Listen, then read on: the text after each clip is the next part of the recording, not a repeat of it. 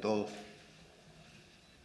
Como ustedes mm, conocen, el, este fin de semana, el día sábado, se realizó el 28 pleno del Comité Central del Partido Comunista de Venezuela, con el objetivo de analizar el cuadro nacional e internacional,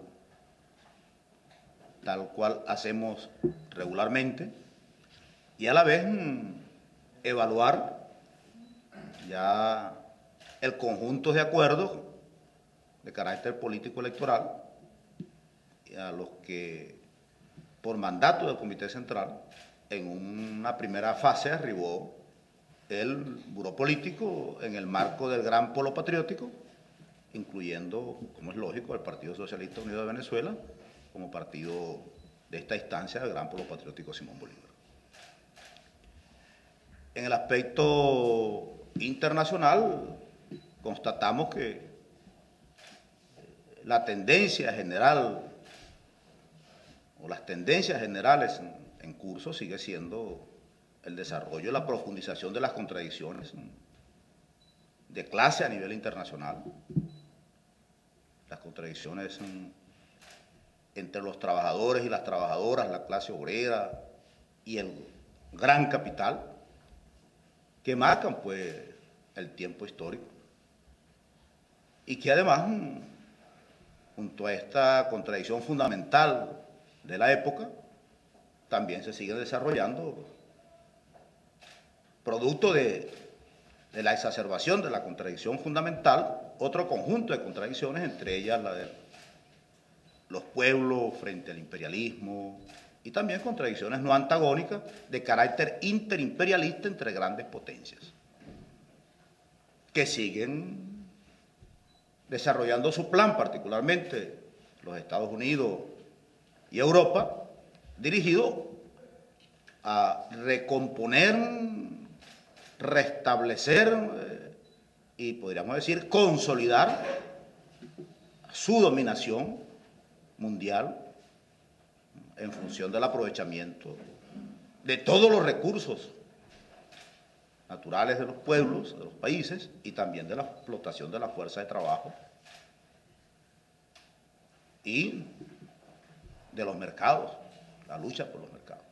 Que esa contradicción sigue desarrollándose y que obviamente es la que y está marcando mucho lo que acontece hoy a nivel mundial en Europa, en África y particularmente en América Latina, donde la agresión del imperialismo norteamericano europeo cada vez se, manifiesta en procesos dirigidos y en acciones dirigidas a desestabilizar los procesos de cambio que en América Latina, en Centroamérica y, y en el Caribe se han venido desarrollando en los últimos 16, 17, 18 años.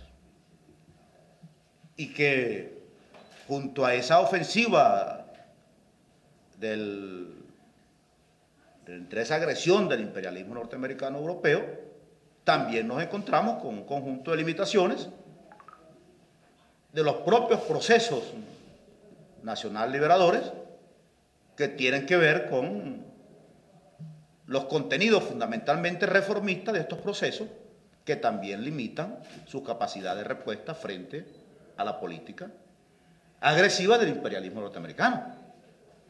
O sea, el no profundizar los procesos de cambio en el continente latinoamericano facilita el papel agresor del imperialismo norteamericano europeo, porque llega un momento que los propios procesos empiezan a perder niveles de legitimidad popular. Entonces, eso, estuvimos analizando esos problemas en el Comité Central del Partido, eh, evaluando la, situación nacional en ese contexto de, agresión del imperialismo norteamericano, europeo en el continente, donde Venezuela es uno de los objetivos fundamentales por el papel que cumple pues, en el proceso de unidad, de lucha por la liberación nacional, de construcción de nuevas formas de organización eh, interestatal a nivel de la relación de los pueblos. Y también, bueno, por los procesos internos de nuestro país que han significado desplazar a la oligarquía aliada del imperialismo norteamericano del dominio y el usufructo directo de la riqueza petrolera. Pues. Entonces, está en una línea de restablecer, de intentar restablecer esa dominación oligárquico-imperialista en el continente y en América Latina. Entonces, en ese contexto incluimos nosotros lo que acontece en nuestro país y la necesidad de las respuestas unitarias, de las respuestas mm, eh, que integren al conjunto de las fuerzas patrióticas y a la vez la necesidad de construir espacios donde los sectores que nos identificamos con la necesidad de, avanzar consecuentemente en la construcción del socialismo, entendiendo el papel de la clase obrera y del pueblo trabajador de la ciudad y el campo, también, eh, además de la amplia alianza antiimperialista que se expresa en el gran polo patriótico Simón Bolívar, también avancemos en la construcción de un espacio de articulación, de un espacio de trabajo y de encuentro que hemos denominado Bloque Popular Revolucionario, eh, que implica todo un esfuerzo en el que el Comité Central ha decidido eh, trabajar en el contexto de la campaña político-electoral, que implica acelerar los procesos de acumulación obrera o campesina, popular, revolucionaria, que sin negar el papel del gran polo patriótico, también se consolide como un espacio de, a nivel del bloque popular revolucionario. Ese es un lineamiento de trabajo fundamental, entendiendo en el Partido Comunista de Venezuela que las campañas electorales eh, las asumimos desde el partido como un proceso de profundización de la lucha ideológica, política y de masa que debe además dar y entregar un saldo organizativo de las fuerzas políticas revolucionarias.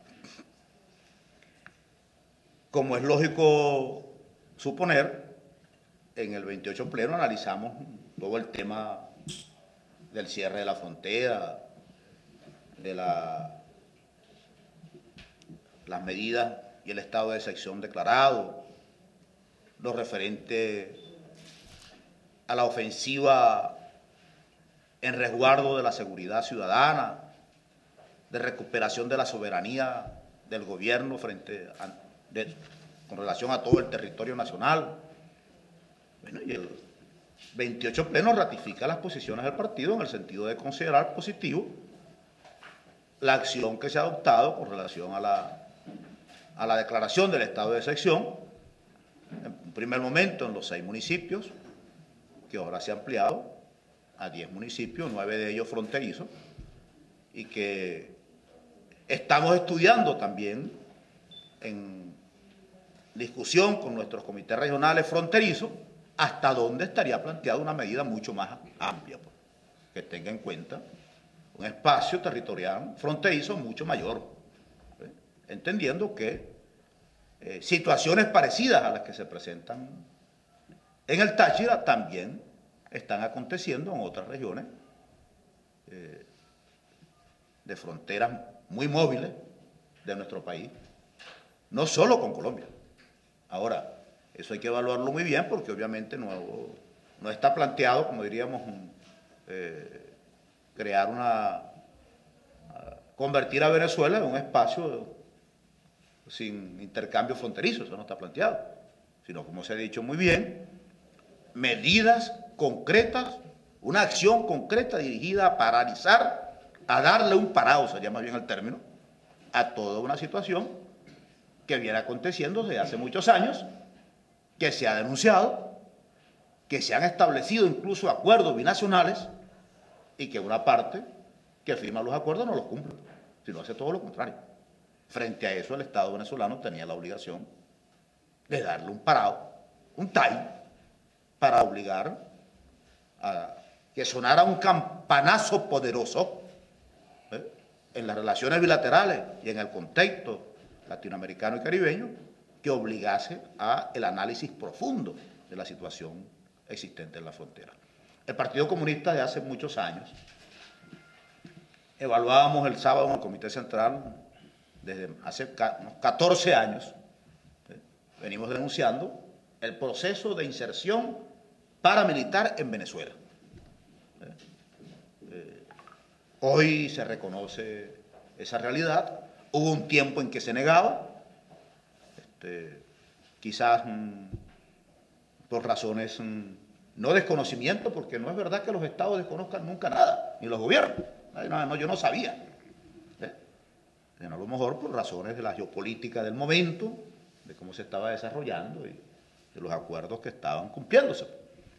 Y quizás de la esperanza de que la otra parte iba a cumplir con los, con los compromisos asumidos con el gobierno venezolano.